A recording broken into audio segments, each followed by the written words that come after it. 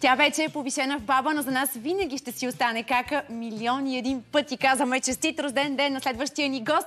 Кака Лара е вече в студиото на Култ. Здравей и честит рожден ден! Но започнахме с това, че остарява, че има рожден ден, че стана баба. Хайде вече да ни е на добре. Не, започнахме само с хубави неща, с най-хубавата новина, че вече си станала баба и с твой личен празник. И си изглеждаш все така, както винаги, както си те помня, си се една и съща. И чакай сега, на рожден ден, като на рожден ден, виж къде съм скрила тук подаръците отзад за теб, за да не ги видиш. Така че това е за теб от целия екип сте на Култ. много благодаря. О, супер сте. Много, много ви благодаря на всички. Много ми е такова развълнувано. Хубав рожден ден се случва днес, където с такова едно начало и вечерта завършва с премиера. Да, премиерата да. беше вчера. Днес обаче второ представление има на... Ами не, това са си съвсем премиери и двете, и двете. с а, нашите гости, защото са толкова много. Все пак, когато кажеш, че всички актриси от един театър са на една сцена, всяка актриса има поне 10 души приятели. Трябва не две, трябва 13 премиери Колко да жени сега излизат на, на, на тази сцена? 14. Това са всички актриси от театър всички Българска актриси. армия. Като казвам, че а, на сцената сред Меглена Караламбова, Пламена Гетова, Елена Райнова, Мимоза Базова са и най-младите в театъра, които прохождат, но ще видите и Стевка Янорова, и Нети. О, ще пропусна Евелин, Луиза Бел, Гергана Плетньова, Гергана Данданова, чак и пиара на театъра аз. Добре, де, как 14 жени репетираха? Много ми е интересно как са протекли репетициите. Сигурно е било Трудно. интересно. Трудно, да. А, винаги режисьора стои с телефона и 112. Всеки момент може да дойде от психодиспансера някой и да прибере с усмирителна риза някоя от нас. По принцип, когато събереш 14 жени на едно място, става ад. Така е. А 14 актриси, това са 14 тежки характера. 14 звезди. И различно е. а на всичкото отгоре представлението е авторско. Всяка една не играе нищо по-различно от себе си. А, и всяка една е по-откровена от всякога. Аз ти казвам, че като така Поставяйки се на място на журналистите, си казвам, Боже, това да ми се беше паднало в интервю. Е, това откровение да беше казал в моето предаване. Такива неща се случват на сцената, които са и много смешни, и забавни, и доста емоционални. Абе, плачем, смеем се и много пеем. Има и песни, но казвам ви, че има... А, всяка една от актрисите можеш да я видиш такава каквато е, когато свърши представлението. А кой взе решението всъщност това да бъде спектакъл с лични истории на всяка една от вас?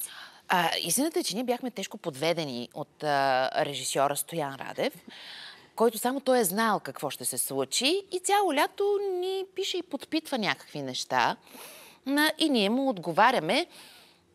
Всяка една си мислеше, че това е нещо като негови опит да ни опознае, за да му помогнем за разпределението на пиеста, която той вече знае, че се прави. И той пита някакви работи и ти отговаряш. Що стана артистка? Ми, какви бяха твоите очаквания? Ми, не случи ли се твоите очаквания? Ти що вече не си актриса? А ти какво, какво си спомняш? И ние пишем, пишем, пишем, пишем. Идва септември месец. Пиеса.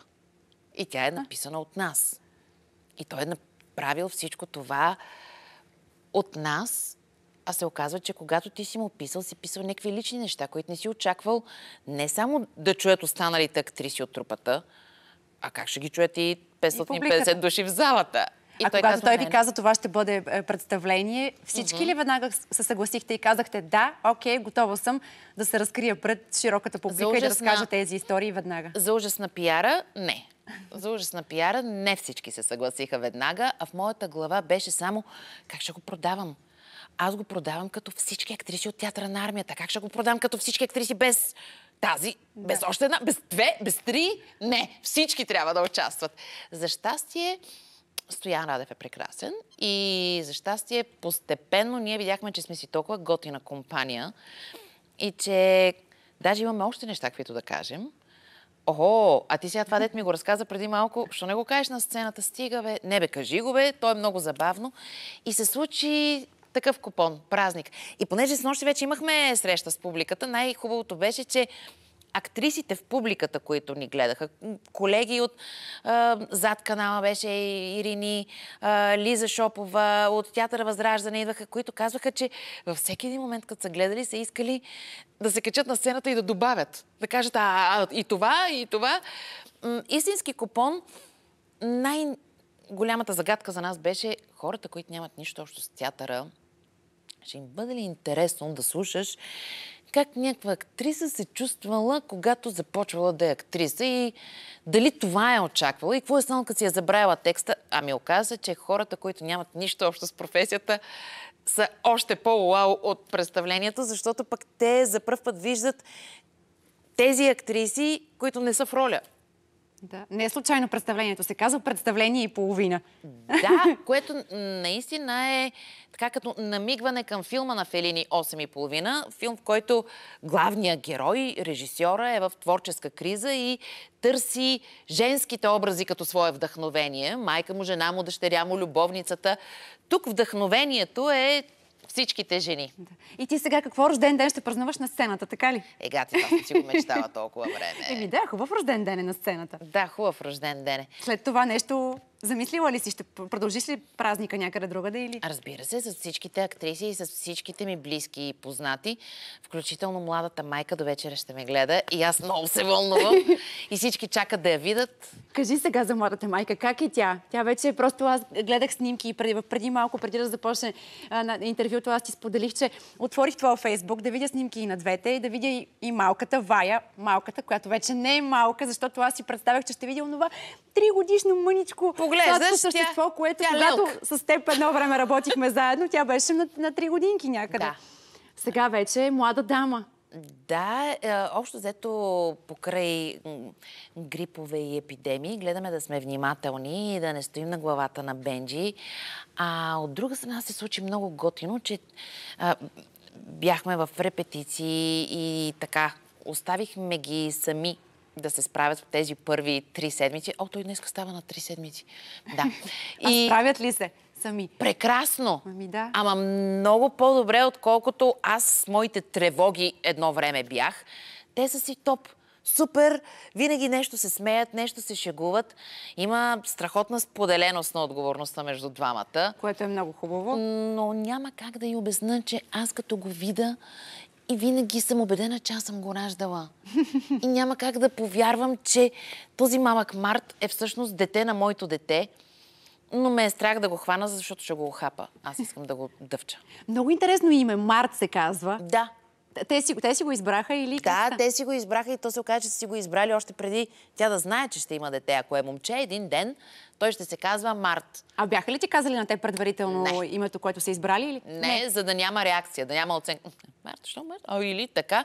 Не, те си го бяха харесали и си искаха да е това, без да чуват странични мнения, за да не се влияят. Да. И така, аз пък се казвам, че той е кръстен на мен, защото Кака Лара всъщност е крайно време да разкрие, че цял живот е била баба Марта. И, и сега Марта е кръстен на баба Марта. Шегуват ли се сега с твоите приятели с теб, че от какалара, какалара вече е станала баба?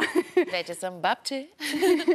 вече всички, които се обръщаха към мене с Значи, како, ето сега е така, ако изглеждат всички баби, просто... Yeah!